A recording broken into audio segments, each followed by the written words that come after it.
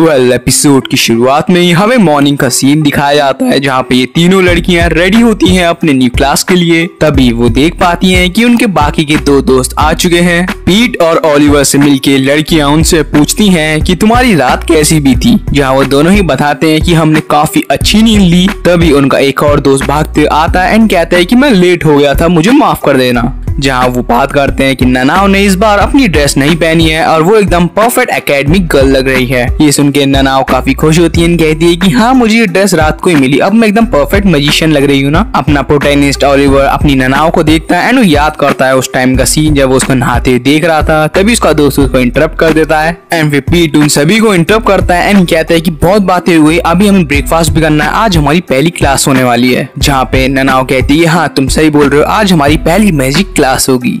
तो गाइस ये होने वाला है हमारे रेन और सेवन स्पेल ब्लेडर का एपिसोड नंबर टू जिसका नाम है सोडाट फिर हमें सीन में दिखाया जाता है कि वो लोग सोडाट सीखने क्लास पहुँच चुके हैं, जहाँ पे उनका इंस्ट्रक्टर उनसे पूछता है कि सोडाट का नॉलेज तुम में से किसको पता है? जहाँ अपना पीठ हाथ खड़ा करता है एंड कहते हैं कि सर मैं बताना चाहता हूँ। टीचर बात सुन के काफ़ी खुश होते हैं, लेकिन उससे कहते हैं कि, पहले तुम अपना इंट्रोडक्शन दो। जहाँ पे वो अपना नाम बताता है, तभी हम देख पाते हैं कि उसी क्लास के कुछ लोग उसका मज़ाक उड़ा रहे हैं एंड कहते हैं कि, लो, आ गया टीचर की चाटने, पहले दिन फिर अपना पीठ सर को बताता है कि ये जो सॉर्ड आर्ट है, ये एक काफ़ी यूनिक टेक्निक है, जो कि आज से 400 साल पहले बनाई गई थी। इस टेक्निक को व्हाइट मजिशियंस ने बनाया था और ये तब बनाई गई थी जब एक फ़ेमस मैजिशियन विल्फ बैटलवेल जो है, एक मैच हार गए थे। वो भी एक ऐसे इंसान से जिसको मैजिक आता ही नहीं। एंड तब से स्वॉर्ड डुलेट टेक्निक्स बनाई गई ताकि हम फ्रंट रेंज से एंड क्लोज रेंज से भी एनिमी के ऊपर अटैक कर सके एंड हम बिना स्वॉर्ड के अलावा भी कुछ कॉम्बैट स्किल्स सीख सके। उनका मास्टर काफ़ी इम्प्रेस होता है पीट की बातों से, फिर वो उन सबको बताता है कि ये जो है वन स्पेल डिस्टेंस मैजिक की तरह होता है। यहाँ पे तुम सभी को अपनी स्वर टेक्निक्स को मास्टर करना होगा, जहाँ पे दो लोग डुएलेट में फाइट करेंगे ताकि उनकी क्लोज रेंजेस की फाइट बढ़े एंड वो कॉम्बैट स्किल्स भी सीखे। तो बताओ फिर कौन जो है डोलेट में सबसे पहले आगे आएगा? तभी अपनी प्यारी ननाव हाथ खड़ा कर देती है एंड वो कहती है कि, सर, मैं पहले आऊँगी। ये सब देख के सब लोग शौक हो जाते हैं कि ननाव कैसे फाइट कर रही है। जहाँ पे सर कहते हैं कि मैंने तुम्हारा नाम सुना है, तुम काफ़ी पॉपुलर हो ननाव लेकिन क्या तुम सौ डाट कर पाओगी? उतने में वहाँ पे एक रिचर्ड एंड्रू नाम का लड़का आता है जो कहता है कि, सर, ये फाइट कर सकती है। मैंने इसको देखा कैसे इसने टोल्स को हराया था। ये उसके लिए एक परफेक्ट अपॉर्चुनिटी होगी मैं भी इसके साथ डुएट करना चाहता हूँ। वहीं ये सारा सिनेरियो देख के अपना पुटैनी समझ चुका था कि रिचर्ड बस एक चालाक इंसान है, जिसको जो है अपनी ननाव को हराना है बिकॉज़ उसको पता है कि इसको स्वर्ड टेक्निक्स नहीं आती हैं, ताकि इसको हरा के अपनी सुप्रीमेसी दिखा सके। जैसे ही उनके मास्टर कहते हैं कि चलो ठीक है, तुम्हारा फाइट कराई देते हैं, तभी अपना प्रोटेन स्टोरी हाथ खड़ा करता है एंड कहता है कि सर मैं यहाँ पे अपनी ननाओ से डुएट करना चाहता हूँ। ये सब देख के रिचर्ड कहता है कि, ओए, पहले मैं यहाँ पे आया था। तभी अपने प्रोटेनिस उसकी बात को काटता है एंड कहता है कि, मैं यहाँ पे पहले आया हूँ, तुम अपना मुँह बंद रखो। मैंने ही परेड में ननाओ और बाकी लोगों को बचाया था। तभी रिचर्ड रियलाइज़ करता है कि ये तो वही लड़का है जिसने परेड में सबको बचाया था।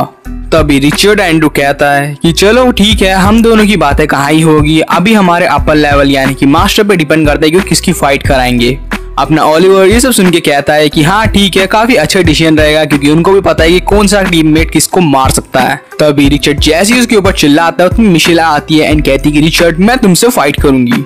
जहाँ वो उसके पास आती है एंड उसको बताती है कि अगर तुम मुझे हराओगे तो तुम्हें काफ़ी ज़्यादा रिस्पेक्ट मिलेगी। क्या हुआ, तुम डर गए क्या? तभी रिचर्ड कहता है कि नहीं, ऐसी कोई बात नहीं है, मैं तैयार हूँ। प्रोटैगनिस्ट अपनी मैकफेरी को मन ही मन देखता है एंड उसको थैंक्स भी बोल देता है। फिर तभी हमें दिखाया जाता है कि उनका मास्टर अनाउंस करता है कि पहला डुएट फाइट होगी ननाओ वर्सेस ओलिवर एंड दूसरी डुएट फाइट होगी रिचर्ड वर्सेस मैकफेरी जहाँ हमें दिखाया जाता है कि वो अपने एक स्मॉल टूर्नामेंट टाइप के स्ट्रक्चर में है, जहाँ पे सर्कल में उनके सारे सहपाठी हैं एंड बाकी वो दोनों ही बीच में खड़े हुए हैं। जहाँ फाइट स्टार्ट होने से पहले अपने ओलिवर एंड ननाव दोनों की ब्लेड में उनके मास्टर एंटी लिथैलिटी स्पेल का इस्तेमाल करते हैं, ताकि जब भी किसी को मारे तो उनको दर्द ना हो, ना उनकी खून निकले। उनका टीचर साथ में अनाउंस करता है कि कोई भी रूल नहीं तोड़ा जाएगा, वरना बहुत बड़ी पनिशमेंट मिल सकती है एंड जीता तभी जा सकता है जब आप सामने वाले की चेस्ट या हेड पे वार करो। जहाँ प्रोटैगनिस्ट उससे कहता है कि ननाओ को उतना मैजिक नहीं आता है तो मैं कोशिश करूँगा कि मैं मैजिक बिल्कुल कम से कम इस्तेमाल करूँ। तभी उनके मास्टर अलाउ कर देते हैं फाइट के लिए, जहाँ पे अपनी ननाओ काफ़ी तेज़ी में आके उसके ऊपर से हमला कर देती है, जो अपना प्रोटैगनिस्ट डॉच कर देता है। प्रोटैगनिस्ट को रियलाइज़ आ पा रहा था कि ये जो है कितना भी कोशिश कर ले, ये सर्ट जिसको हरा नहीं पा रहा है। एंड फिर हमें दिखाया जाता है कि वो दोनों ही दूर होकर काफ़ी तगड़ी फाइट लड़ते हैं, जहाँ अपना पोटेंस पीछे होता है एंड वो रियलाइज़ करता है इसकी स्वर्ड देख के एंड कहता है अपने मन ही मन की पक्का इसने बहुत लोगों को मारा होगा, तभी इसकी स्वर्ड इतनी पावरफुल लग रही है। न जाने कितने लोगों का खून बहाया होगा इसने एंड इसकी ब्लेड देख के लगी रहा है कि इसकी ब्लेड ने कितना खून देखा होगा। जहाँ पे अपनी ननाओ फाइट लेते लेते पीछे हो जाती है एंड रियलाइज़ करती है कि यही वो जगह है एंड उसकी आँख से आँसू निकलना शुरू हो जाते हैं। प्रोटेनिस ये चीज़ें देख के थोड़ा इमोशनल हो जाते हैं रियलाइज़ करते हैं कि शायद वो उसको उतनी अच्छी फाइट नहीं दे पा रहा है। तभी वो सोचता है कि वो बिल्कुल नहीं चाहता कि वो ननाओ के आँखों में आँसू देखे एंड वो कसम खा लेता है कि वो जो है पूरी ताकत से लड़ेगा इससे। एंड वो दोनों ही कसम खाते हैं कि वो एक दूसरे से तब तक लड़ेंगे जब तक उन दोनों में से कोई एक मर नहीं जाता। है जैसे वो अपने फुल फॉर्म में आके लड़ते हैं, उतने में उनका मास्टर उनको रोक लेता है। मास्टर कहता है कि क्या तुम दोनों पागल हो चुके हो? तुम दोनों को एक दूसरे को ही मारना है क्या? क्योंकि तुम्हारी ताकतों ने मेरा नॉन लीथल स्पेल ही तोड़ दिया। उन दोनों की रुकी फाइट देख करके अपनी मैक फेरी जो होती है, वो देखती है ना एंड को कहती है तुमने देखा कि कितने बार अपनी ननाओं ने मारे? तभी खड़ी होती है टीचर को कहती है कि टीचर मैं जो है रिट्रीट करना चाहती हूँ, मुझे इसके साथ नहीं लड़ना. एंड तभी अपना रिचर्ड भी कहते हैं कि हाँ वही चीज़. एंड इसके बाद उन दोनों की फाइट रोक दी जाती है, जहाँ अपना ओलिवर एंड ननाओ को ऑर्डर दे दिया जाता है कि, तुम दोनों वापस रेस्ट करो. एंड ओलिवर जो है क्लास छोड़ के चला जाता है, तभी ननाओ उसके पीछे की तरफ़ जाती है। वो जाते हुए ओलिवर से कहती है कि ओलिवर, हम दोनों का काफ़ी अच्छा मैच रहा, लेकिन अनफॉर्चुनेटली हम लोग जीत नहीं पाए। अगली बार जब हम लोग लड़ेंगे तो मैं पक्का तुम पे हमला करूँगी। ये सुनते ही अपना ओलिवर काफ़ी गुस्से में आता है एंड कहता है कि नहीं, मैं कभी ज़िंदगी में तुमसे अब लड़ने नहीं वाला। मैं नहीं चाहता कि मैं तुम्हें मारूं। एंड ये बोलते वो आगे चला जाता है। ये देख के अपनी ननाओ काफ़ी सैड हो जाती है एंड रोना शुरू कर देती है। फिर हमें दिखाया जाता है कि प्रोटेनिस्ट एंड बाकी के दोस्त जहाँ बाहर बैठे हुए हैं, जहाँ पे अपना प्रोटेनिस्ट सबवे खा रहा है एंड वो लोग बात करते हैं कि कैसे उनकी स्पेलोलॉजी क्लास काफ़ी ज़्यादा डिफ़िकल्ट थी एंड उन्होंने वो छोड़ दी थी जब वो स्वर्ड क्लास ज्वाइन करने चले गए थे। जहाँ हमें दिखाया जाता है कि उनकी टीचर उनको बोल रही है कि तुम लोगों को यहीं पे रहना है एंड मैं हूँ फ्रांसियस जहाँ उनकी टीचर होती है, वो बताती है कि तुम अपने आप को मईशियन तभी बोलोगे जब तुम अपनी मैजिक वर्ड का इस्तेमाल कर पाओ लोगों की प्रॉब्लम्स को सॉल्व करने के लिए अपने मैजिक की मदद से। जहाँ पे तभी वो लोग सोचते हैं कि अभी की क्लासेस तो ऐसी गई हैं, भगवान जाने बायोलॉजी की क्लास में क्या होगा। उसके बाद हमें दिखाया जाता है कि उन सब के सब जो है अपनी बायोलॉजी की क्लास में बैठे हुए हैं। जहाँ उनकी टीचर वेनेसा उनको कहती है कि अगर तुम में से कोई भी ओ he so cute dog lover type का कोई है तो अपने आइडियाज़ एंड अपने ओपिनियंस को बाहर कचरे के डब्बे में फेंक के आना, ये मेरी क्लास है। क्योंकि मैं यहाँ पर जितने भी क्रिएचर है, उन सबको अपने मैजिकल ऑब्जेक्ट की तरह यूज़ करती हूँ। तो आज हम लोग कुछ मैजिकल ऑब्जेक्ट्स का इस्तेमाल करेंगे। एंड फिर वो टीचर अपने जादू की मदद से हर किसी के टेबल में एक अननोन ब्लैक बॉक्स रखती है, जिसको खोल के हमें दिखाया जाता है कि उसके अंदर दो क्यूट छोटे छोटे सिल्क वॉर्म्स हैं। एंड फिर इनकी टीचर इनको बताती है कि इनको ककून में बदला जा सकता है अगर तुम इनको अपनी मैजिक फ़ीड करवाते रहोगे। फिर तभी उनकी टीचर बताती है कि सही अमाउंट में जो है, तुम्हें इनका कूंज को बनाना है। एंड इनको सही अमाउंट की मैजिक देनी है। अगर तुमने ज़्यादा दिया तो ये ब्लैक होना शुरू हो जाएँगे। एंड उसके बाद फिर ये जैसे ही बाहर आएँगे, ये लोग एक बहुत ही ज़्यादा खतरनाक मॉन्स्टर बन सकते हैं। एंड उसके बाद फिर तुम्हें इन सभी को जला देना है। एंड जाओ, आज तुम्हारा काम यही है। तुम सभी के बॉक्स में 10 सिल्क वॉर्म है। उन सभी को अच्छे अमाउंट का मैजिक देके उन सारे सिल्क वॉर्म को अच्छा बना देना। है दस में से अगर पाँच को भी ठीक से कर दिया तो तब तुम्हें पासिंग ग्रेड्स मिल जाएँगे। बाकी को खराब करने की ज़िम्मेदारी तुम्हारी होगी। ये सब बोलती, जितने भी स्टूडेंट होते हैं, वो सबके सब उनको बनाना शुरू कर देते हैं अपने मैजिक का राइट अमाउंट पोषण दे करके जहाँ पे मैकफेरी कहती है कि ये तो कितना ज़्यादा आसान है एंड एक एक करके सभी सिल्क वार्म को कोकून में बदलती है, लेकिन एक उसका ब्लैक पड़ जाता है, उसको ऑन द स्पॉट जला देती है। ये सब देख के उसके पीछे वाला जो लड़का होता है, कहते हैं कि तुम्हें ये सब आसान लग रहा है। तभी मैकफेरी जो होती है, अपने ओलिवर के पास आती है एंड कहती है कि तुम पीट की हेल्प करो, मैं तब तक अपनी ननाव की हेल्प करूँगी, क्योंकि ननाव को देख के मुझे साफ़ लग रहा है कि तुम दोनों के बीच में कुछ ना कुछ गलत हुआ है। फिर तभी हमें दिखाया जाता है कि अपना ओलिवर पीट को देख पा रहा है, जिसने कम से कम पाँच बना ही दिए हैं। वहीं अपना जो ग्रीन वुड गाय है, उससे सिर्फ़ चार ही बन पाए हैं। तभी उनकी टीचर आती है ना देख पाती है कि सब लोग कैसे बना रहे हैं। टीचर फिर केट को देखती है, जिसने सिर्फ़ अभी तक पाँच ही बनाए हुए थे। टीचर उससे कहती है कि, तुमने सिर्फ़ पाँच ही क्यों बनाया? जहाँ पे कहती है कि, टीचर प्लीज़ मुझे डिस्टर्ब मत करो। तभी थोड़ा टाइम बीत जाता है जहाँ पे हर किसी का हो चुका था, लेकिन अभी भी केट लगी हुई थी। फिर मैकफेरियन ओलिवर बात करते हैं कि केट के लिए सिर्फ़ क्लास नहीं है। केट को एनिमल से काफ़ी ज़्यादा प्यार है, इसलिए वो काफ़ी धीमे कर रही है। तभी फिर हमें दिखाया जाता है कि केट का जो एक कोकून है, वो जो है डेविल में बदल चुका है, यानी कि मॉन्स्टर टाइप का बन चुका है एंड फिर उसको ही काट देता है एंड इस चीज़ को देख करके अपना एंड पीट दोनों ही उसको काट देते हैं। टीचर ये सब देख लेती है एंड टीचर जो है इन दोनों के ही पॉइंट्स को काट देती है। फिर हमें अगले ही सीन में दिखाया आता है कि अपनी जो केट है, वो अपने प्रोटेंस से सॉरी मांग रही है एंड कह रही है कि मेरी वजह से तुम्हें भी क्लास छोड़ के यहाँ पे आना पड़ा। फिर तभी अपना ओलिवर कहता है कि नहीं नहीं, मुझे वैसे भी क्लास अटेंड नहीं करनी थी। फिर अपनी जो केट होती है, वो अपने घर के बारे में उसको बताती है कि मेरी फैमिली बचपन से हर प्रकार के क्रीचर्स को पालती हुई आई है, मैं उन्हीं क्रीचर्स के साथ बड़ी हुई हूँ।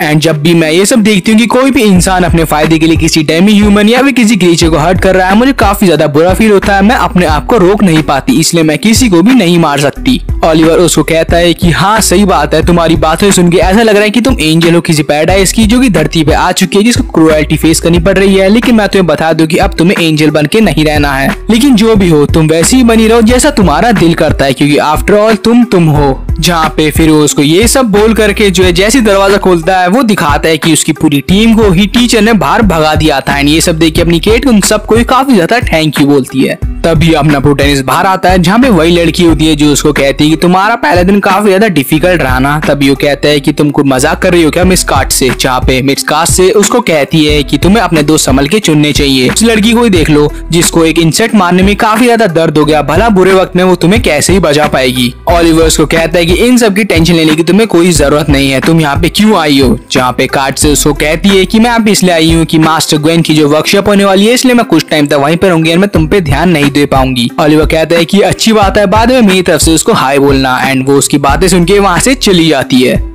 तभी हमें दिखाया जाता है कि अपना प्रोटैगनिस्ट है उसके बाकी के दोस्त जो है, वो आराम से बैठ के डिनर कर रहे हैं, जहाँ पे केट अपनी ननाव को देखती है कहती है कि तुम इतनी चुप चुप से क्यों हो? क्या हो गया? कोई परेशानी है क्या? तुम मुझसे बता सकती हो, और अगर तुम्हें कोई बात करने को चाहिए तो मैं भी तुम्हारे साथ हूँ, तुम मुझसे बात कर सकती हो।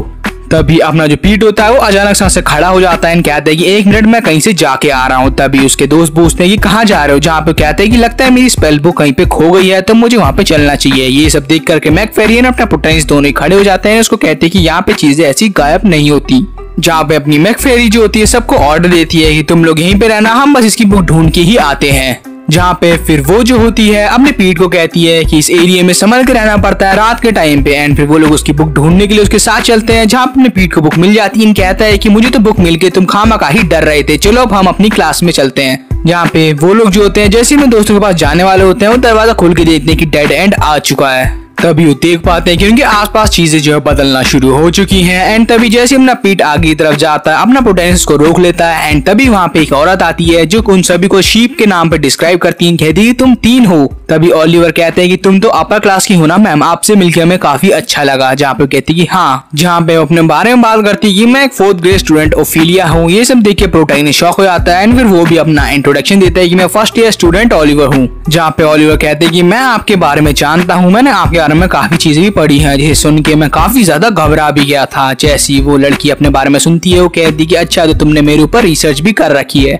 फिर वो ये सब बोल के अपना जादू चलाती है। जैसे ही वो पीठ उसके पास आता है, तब भी अपनी मैकफेरी पीठ को बचा लेती है। फिर वो उनको कहती है कि मेरी बॉडी ऐसी काम करती है, मैं अपना मैजिक हर जगह फैला देती हूँ। आओ मेरे साथ चलो, जहाँ पे ऑलिवर उनको मना कर देता है एंड ओलिवर अपने दोस्तों को लेके आगे बढ़ जाता है। जैसे वो आगे जाते हैं, उनके पास एक हड्डी का वेब आता है, जिनको रोक लेता है। तभी वहाँ पे एक फिफ्थ ग्रेड स्टूडेंट साइरस आता है, जो कहते हैं कि तुम्हें वो लड़की पसंद ही नहीं, किया तुम्हें थोड़ा और टाइम उसको देना चाहिए था?